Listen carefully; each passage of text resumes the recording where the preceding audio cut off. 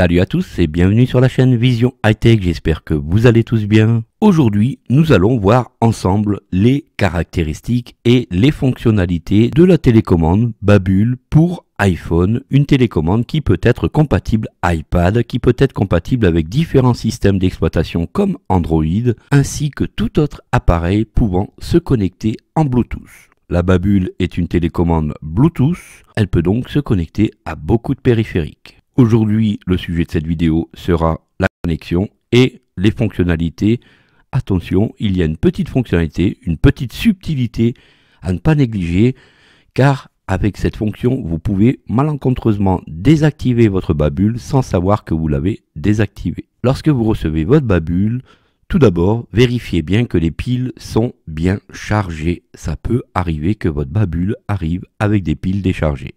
Les piles qui sont reçues avec votre babule sont des piles rechargeables. Si elles ne sont pas chargées, je vous conseille de prendre votre téléphone fixe de la maison et d'enlever ces piles et de mettre celles de la babule toute la nuit à recharger dans votre téléphone. Je parle bien le téléphone fixe de la maison. Une fois ceci fait, vous allez donc intégrer les piles dans votre babule au niveau des piles, bien vérifier que les deux petites pointes de vos piles sont vers le haut et les plats de vos piles sont vers le bas de la télécommande. Je vous rappelle, lorsque la télécommande est à l'endroit, le joystick sera sur le haut de la télécommande. Alors, une fois que vous avez intégré vos piles dans votre télécommande, normalement, celle-ci devrait apparaître une fois que vous êtes rendu sur Réglages et dans Bluetooth sous le nom de AR A majuscule R majuscule. Passons au descriptif de la télécommande. Sur le haut de la télécommande, vous avez donc un cercle. Au centre de ce cercle, vous avez un bouton OK qui ne servira pratiquement à rien par rapport à l'iPhone. On peut sentir le cercle qui est un peu plus bombé. Ce cercle bombé, lui, sera le joystick des flèches, flèche haut, flèche bas, flèche droite et flèche gauche. Juste dessous ce joystick, on va rencontrer une première rangée de trois touches. La touche au milieu qui sera la, touche Home, qui donc, comme son nom l'indique, lorsque vous serez sur une application, vous ramènera directement sur la page d'accueil de votre iPhone. La touche à sa droite qui est la touche contextuelle fera exactement la même chose. Un double appui rapide sur cette touche réveillera donc le sélecteur d'application. Exactement le même geste lorsque vous faites un double tap sur votre bouton Home ou que vous remontez votre doigt deux fois si vous avez donc un iPhone 10 et au-dessus. Juste dessous, on aura donc trois autres boutons. Au centre, on aura le bouton lecture pause et à droite et à gauche, les touches avance rapide et retour rapide ou avancer dans les plages ou retour dans les plages. Voilà pour l'explication de ces boutons. La babule est très simple d'utilisation. Alors attention, avec la babule, vous n'aurez pas la possibilité de lancer Siri. Vous n'aurez pas donc la possibilité d'intégrer la zone de notification qui se trouve sur le haut de votre iPhone. La babule vous servira donc à circuler, à vous simplifier la circulation sur votre iPhone avec le joystick et la validation des applications en question. La lecture de vos fichiers audio et la lecture de vos livres préférés. On va donc tout de suite appairer la babule, c'est parti. Alors si la babule n'est pas reconnue tout de suite une fois que vous avez intégré vos piles dans votre télécommande, vous faites un appui au milieu sur la première rangée, c'est-à-dire sous la flèche bas, d'à peu près 40 secondes.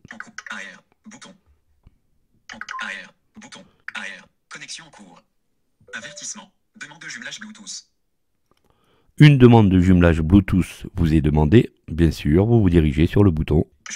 bouton. Réglage. Vous attendez quelques secondes que l'appairage s'effectue. Une fois celui-ci exécuté, vous n'avez plus qu'à appuyer sur la première touche qui vous ramènera à l'accueil de votre iPhone, celle qui se trouve juste au milieu sous la flèche bas de votre joystick central. Vous faites un appui court.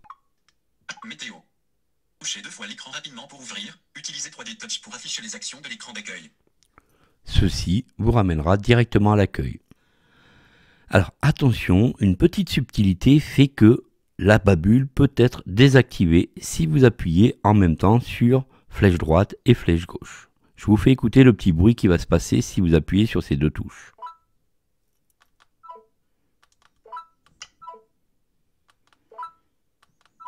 Alors ces deux petits bruits que vous entendez, c'est que vous désactivez la télécommande ou vous l'activez via un raccourci clavier sur la télécommande. Alors comment exécuter ce raccourci? Vous appuyez en même temps sur flèche droite et flèche gauche.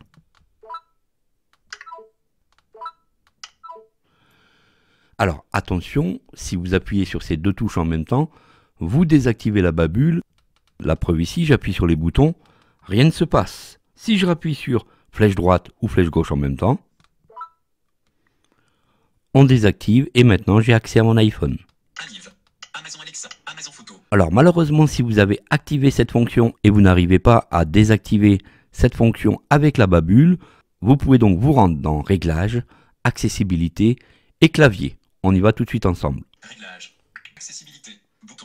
On se rend donc dans Accessibilité. Les fonctionnalités d'accessibilité vous permettent d'adapter votre iPhone à vos besoins. Clavier, bouton. On se rend donc sur Clavier. Clavier physique, en tête. Et on entend donc clavier physique en tête.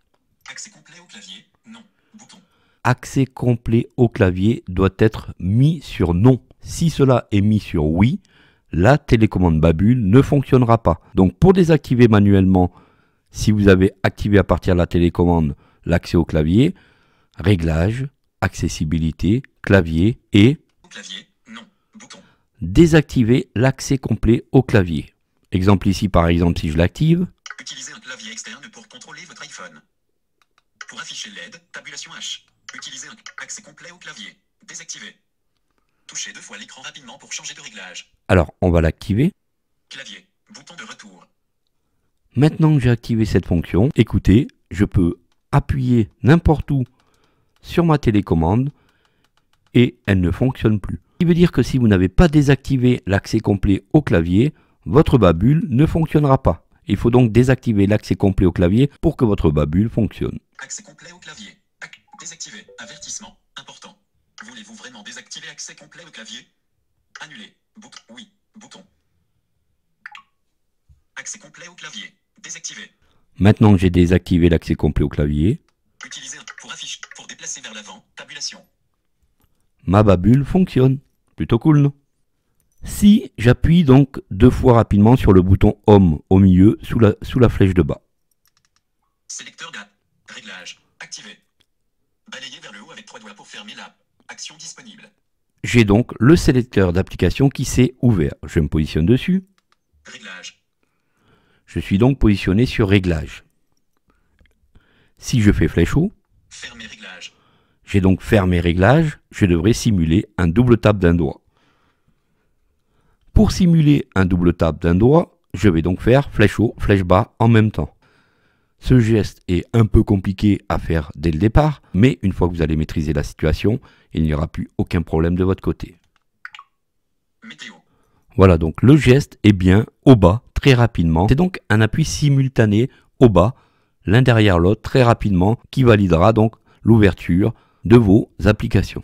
Alors, la touche qui se trouve à droite de la touche Home, celle qui se trouve au milieu sur la première rangée, a exactement la même fonction que la touche Home. Elle vous ramènera, si vous appuyez une fois, à l'écran d'accueil, et elle ouvrira donc le sélecteur d'application si vous appuyez deux fois sur cette touche. Alors, pour avancer dans les pages de votre iPhone, lorsque vous avez une plage braille, vous faites espace O ou espace E dans l'eau, et eh bien ici, avec votre babule, vous allez vous positionner sur la petite barrette qui se trouve tout en bas, qui porte le nom de Doc, page 2 sur 7, ajustable. Balayez l'écran vers le haut ou le bas avec un doigt pour ajuster la valeur. Et avec la babule, pour balayer de haut en bas ou de bas en haut, vous allez tout simplement appuyer sur flèche haut ou flèche bas. Page 3 sur 7, page 4 sur 7, page 5 sur 7, page 4 sur 7, page 3 sur 7, page 2 sur 7, voilà ce que vous allez pouvoir faire avec la babule au niveau de l'avancement des pages. Alors, lorsque vous êtes sur une application, vous allez pouvoir faire un glisser au bas ou bas haut avec VoiceOver lorsque vous faites glisser un doigt de bas en haut ou de haut en bas. Ici, si j'exécute le raccourci avec la babule, donc flèche haut ou flèche bas. Aujourd'hui, mode édition, activé par défaut, bibliothèque apps. Aujourd'hui, mode édition. Si je veux donc activer le mode édition, je vais valider double tap, je vais appuyer au bas l'un derrière l'autre. Modification commencée. Activer. Par défaut, faire glisser autour. Donc, ce qui m'amène ici à exécuter des raccourcis que normalement je ferai tactilement sur l'iPhone, que je n'ai pas besoin de faire avec ma babule. Par exemple, ici. Supprimer. Arrêter la modification des apps. Activer. Faire glisser autour. Supprimer. Arrêter la modification des apps. Supprimer. Je pourrais demander à supprimer cette application. C'est parti. Avertissement. Supprimer autour. Si vous supprimez l'app de l'écran d'accueil, celle-ci sera conservée dans votre bibliothèque d'apps. Et actuellement, je n'ai jamais mis les doigts sur mon iPhone. J'ai utilisé vraiment la télécommande Babule. Supprimer l'app. Bouton. Supprimer de l'écran d'accueil. Bouton. Annuler. Bouton. Et pour aller sur le bouton annuler et le valider, toujours flèche haut, flèche bas en même temps. Modification terminée. Voilà comment utiliser les raccourcis tactiles que l'on fait d'habitude avec un doigt sur l'iPhone avec la télécommande Babule. Activité. Table braille. Navigation verticale. Entrée d'union tête. Langue. Par. English, US, français. English parent sovereign US parent. Français F parent Canada parent. Voilà donc pour utiliser le rotor, on appuiera donc sur flèche haut et flèche gauche pour naviguer dans le rotor. Conseil pratique. Actif volume. 90. Débit vocal. 64 mots. Caractère. 08.46. Là, encore une fois, on appuiera haut, gauche, haut, gauche, l'un derrière l'autre, comme vous le feriez avec vos doigts pour faire donc le rotor. Volume. 95%. Voilà donc comment utiliser le rotor avec donc la babule. Le premier bouton complètement à gauche sur la première rangée vous servira donc à rien par rapport à la télécommande. Comme je vous ai dit, cette télécommande est vraiment une télécommande multifonction qui peut être utilisée sous iOS, Android et d'autres systèmes que je n'ai pas encore testés. Mais dans tous les cas, sous Android, je l'ai testé et il y a pas mal de petites choses que l'on peut faire avec cette télécommande Babule sous iOS et Android. Pour la dernière rangée du bas, comme je vous ai dit, on lance la musique, on l'arrête, avancez rapidement et reculez rapidement. Et pour stopper ceci, vous rappuyez sur lecture et l'avance rapide s'arrêtera et vous allez pouvoir écouter votre musique. Alors prendre des photos à distance avec la babule sera possible. Vous vous dirigez sur votre appareil photo. Équipé d'écouteurs Bluetooth, vous allez pouvoir entendre à distance ce que vous faites. Visualiseur de photos et vidéos. Bouton. Sélecteur de caméra. Face arrière. Bouton. Passe d'une caméra à l'autre. Lecteur de sélecteur de caméra. Sélecteur de zéro personne. Visualise. Sélecteur de caméra. Face avant. Un visage près du bord droit. Sélecteur de caméra. Face arrière. Voilà donc tout ceci sans toucher à l'écran de l'iPhone. Je trouve ça vraiment génial. D'ailleurs, dites-moi en commentaire si vous désirez voir une vidéo avec la babule à partir d'Android. Ça m'intéresse. Visualiseur de photos et vidéos. Bouton. On peut donc aller sur le visualiseur de photos. Prendre une photo. Bouton. Action disponible. Le bouton prendre une photo. Lancer la capture en rafale. Prendre une vidéo. Activé. Par défaut. Et ici, j'appuie au bas. Ma photo a été prise. Plutôt cool, non? Mode caméra. Ajustable. Portrait. Panneau. Zéro personne. Panneau. Zéro personne. Donc ici, je circule dans les différents modes de photo ou de vidéo avec flèche haut ou flèche bas. Portrait. Photo. Vidéo. Ralenti. Accéléré. Zéro personne. Écran d'accueil. Météo. Touchez deux fois l'écran rapidement pour ouvrir. Avec la babule, je vais pouvoir aussi décrocher un appel téléphonique ou raccrocher tout simplement avec la navigation. Je vous montre ça tout de suite. Ça va sonner.